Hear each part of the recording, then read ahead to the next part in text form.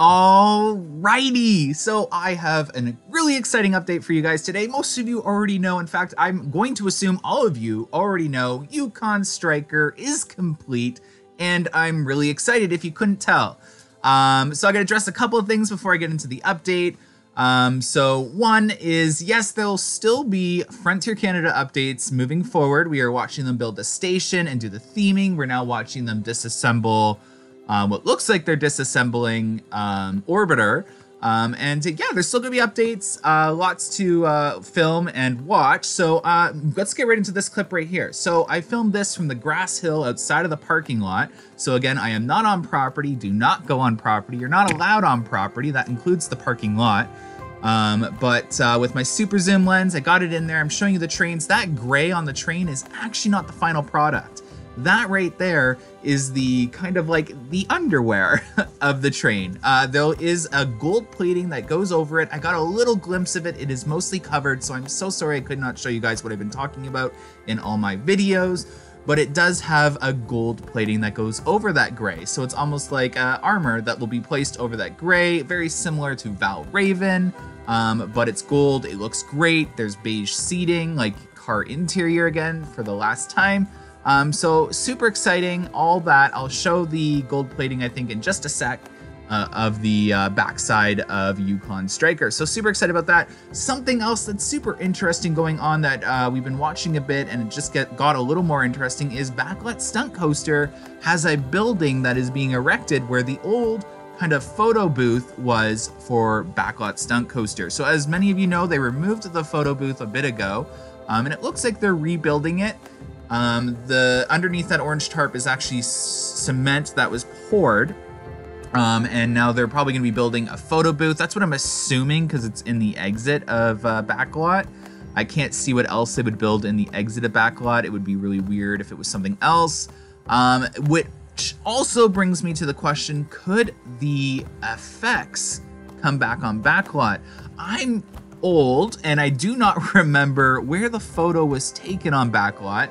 I have a feeling, I like to think it was taken in the effects area, but um, something in me is telling me that's not the case because there was fire and you wouldn't want that um, for the photo op. Um, so I'm guessing maybe when you come out of the tunnel and drop is where they took the photo. I have no idea. Comment down below where they took the photo on Backlot because obviously I have no idea. But um, I'm starting to question if they're bringing the photo booth back, maybe, just maybe, fingers crossed this is a huge stretch and reach again, take this with a huge grain of salt, I have no idea, just maybe the effects are coming back on Backlot. Um, just wanted to update you guys on that and what I possibly think might be going on. But let's get to the exciting things. Yukon Striker was completed. Yes, it's complete. The vertical loop is up. No, it's not canceled. There it is right there in front of our eyes with the strap from the crane still tied to the track. Yukon Striker is absolutely done in terms of track work. Now, today, they're there working. That was crazy. So we were there filming today running around. I'm soaked right now. I'm still wearing the pants I was wearing. I am soaked. I gotta go change um, into something dry, but I had to get this video out. Yukon Striker is complete. They're working on what looks like electrical in the station, lifting components onto the brake run again. I couldn't make out what they were lifting onto the brake run. It wasn't a train. Um, all the trains are accounted for in the storage lot still. I don't see a clearance envelope um, either yet. I don't think it was that at all. I'm thinking it's just electrical components or something like that. Um, now, there's a lot to talk about in terms of Yukon Striker moving forward, but I do want to touch on the fact that the um, vertical loop looks a lot better than I even imagined. I'm absolutely impressed with it. It is really tall. So it's almost as tall as the zero G roll. It's also taller than the mid-course brake run. Um, and um, I know there's a lot of talk going around that it's 95 feet tall. I think that's the actual height. I'm not sure. Um, I, am guessing 95 feet to 105 feet, somewhere along, along that range. You can see it on the outside of the park. It looks absolutely stunning. I cannot wait to go on that. It's going to be a really cool sensation on a dive coaster. Um, and this thing is just one inversion, two inversion, three inversion, four inversion before you even hit brakes. So that's going to be super exciting. I'm so excited for it. You already know that though. I'm too excited for this project. That's just me. I love dive coasters, and now I got a unique dive coaster I get to ride right in my backyard. Couldn't be more excited.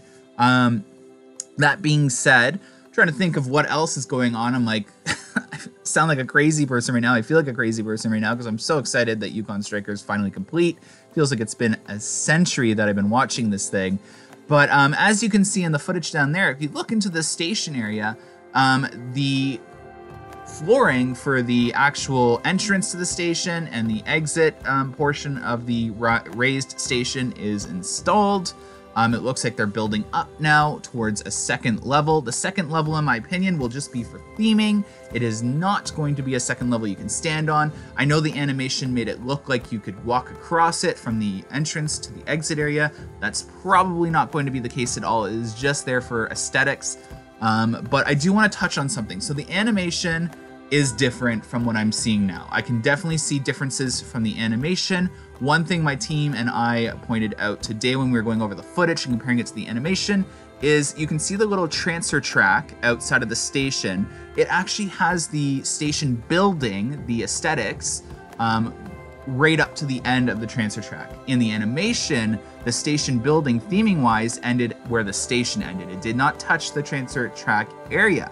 So the station is a lot larger, sorry, probably should say a little larger than the animation at this point, um, which is really cool. I can tell the queue line goes underneath that station building before you cross underneath the turnout of the station and towards the entrance. That's gonna be also really cool.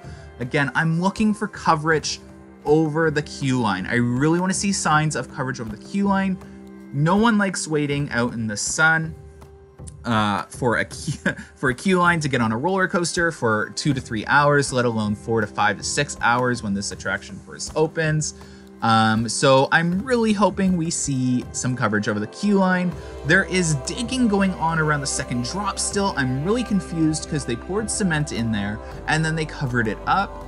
So I what I thought was a river doesn't look like it's going to be a river. I'm also confused because they typically don't pour cement into into electrical areas or plumbing areas. And now they're digging up more areas right next to where they had already dug up. So I am beyond confused. I have no idea what's going on in that area. Maybe it's a building, maybe it's nothing, maybe it's electrical, maybe it's plumbing, and I have no idea. We'll keep an eye on that as well as we're looking towards what's going to be built up for Frontier Canada. I'm so excited.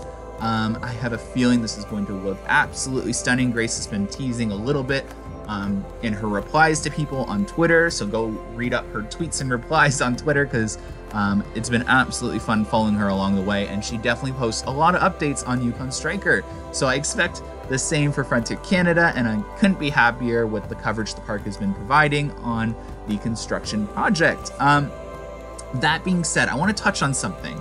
So the green building for Splashworks. Um, the more I think about it and the more I've been like looking at it, it's extremely out of place now. And I'm really hoping over the next one, two, three years, we see something done with that. I would like the green roof, the Leviathan color roof, to disappear and it be painted brown, even if they don't want to retro- re-retrofit the um, building or redo the building. I think a brown roof would fit in really well.